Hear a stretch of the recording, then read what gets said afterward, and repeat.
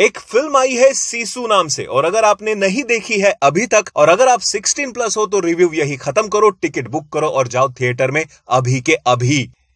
और रुको, मज़ाक कर रहा हूँ, पहले रिव्यू पूरा देख लो, फिर चाहे चले जाना। तो बेसिकली तो बेसिकली सिसु मूवी का प्लॉट जो है वो 1944 का है, जब सेकेंड वर्ल्ड वॉर हुआ था और नाजीज ने हाहाकार मचाया था। तो यहाँ इस प्लॉट में है एक बूढ़ा आदमी, जिसको बूढ़ा समझने की जरा से भी गलती मत कर लेना। इस फ़िल्म के अंदर कुछ कैरेक्टर्स यही गलती कर बैठते हैं, फिर एक एक करके सब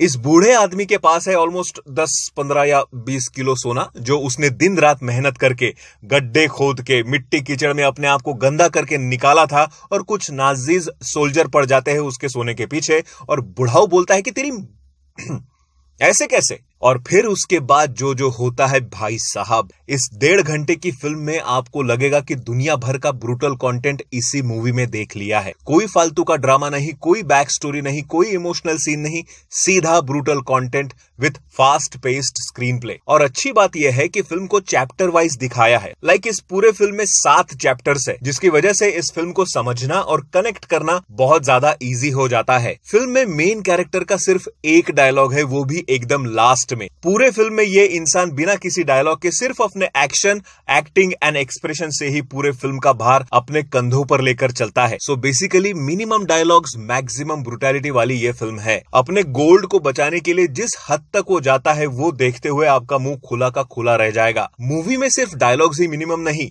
बट वीएफएक्स पार्ट भी ना के बराबर है। जितना कुछ भी खून खराबा ब्लास्ट वगैरह दिखाया है, वो ज़्यादातर लाइव एक्शन का ही कमाल है। और हाँ अगर आपके मन में आ रहा है कि यार ये सिसु नाम कैसा है? मतलब सुसु की तरह। तो मैं हूँ ना, बताता हूँ। सिसु एक स्वीडिश वर्ड है, जिसका मीनिंग है courage determination bravery to against all odds मतलब किसी भी सिचुएशन में हार न मानना, अटूट साहस या पक्का इरादा, जो आपको इस कैरेक्टर में देखने को मिलेगा। जहाँ आपको कभी कभी लगेगा कि साला ये इंसान मरता क्यों नहीं है? जो देखने में मज़ा तो आता है। एक दो सिचुएशन ऐसे भी है जहाँ उसके ना मरने की सीन को थोड़ा ओवर ड्रामेटिक कर दिया गया है। या कह सकते हैं कि एग्जेजरेट कर दिया गया है। लेकिन स्टिल मज़ा ज़रूर आता है। और अपने को चाहिए ही क्या? फुल मज़ा। जो ये फ़िल्म आपको पूरा पूरा देगी विदाउट एनी वल्गर लैंग्वेज या वल्गर सीन्स हालाँकि ये ए रेटेड मूवी है, लेकिन बस खून खराबा बहुत ज़्यादा है, इसीलिए। तो मैं तो रेकमेंड करूँगा कि जाओ और इसे देख डालो, जो हिंदी में भी अवेलेबल है। मैं दूँगा इस मूवी को 3.5 आउट ऑफ़ 5 स्टार्स मिलते हैं अगले वीडियो में। बाय